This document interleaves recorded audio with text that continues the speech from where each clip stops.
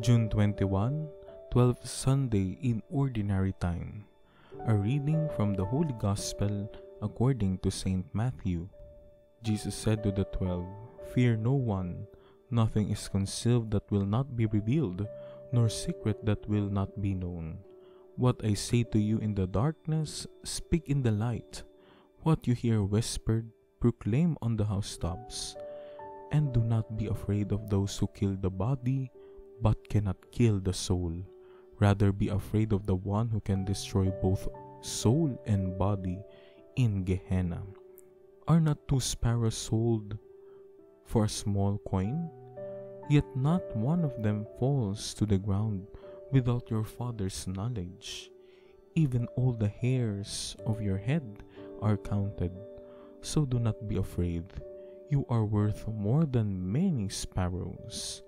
Everyone who acknowledges me before others, I will acknowledge before my heavenly Father. But whoever denies me before others, I will deny before my heavenly Father. The Gospel of the Lord. God's love gives courage. Fear paralyzes, but God's love, always bigger than anything that can make us afraid, gives us security and makes us more self giving. Without the love of God, fear thrives in insecurity and a self preserving attitude.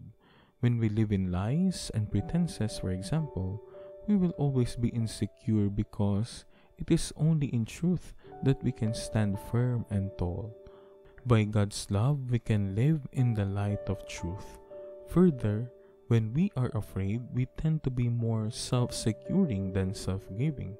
If we are truly self giving, we will never be afraid of reaching out to others because God's love gives us the courage to do so, even it would entail facing persecutions.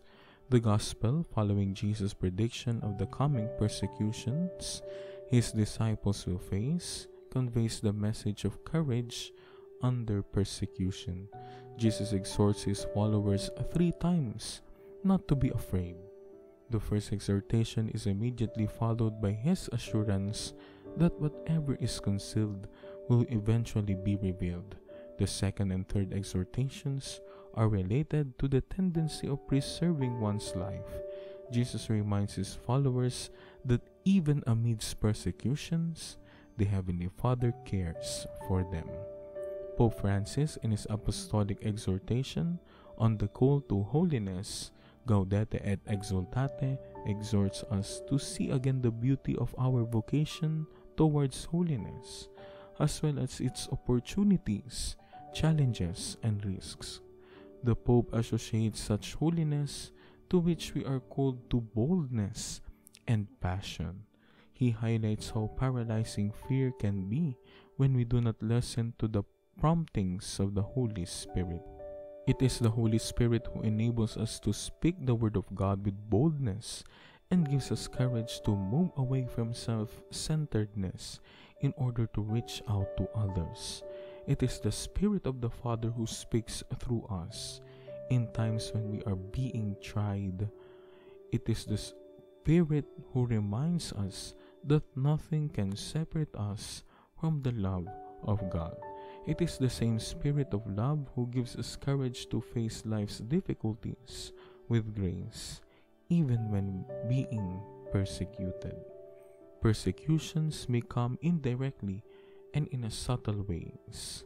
We may experience them in the ordinariness of our everyday life. Do we allow God's love to shine through us even when threatened by persecutions? In our areas of work, where we may be a culture of dishonesty, do we boldly say no to this culture, or are we paralyzed by the fear of being persecuted by its perpetrators?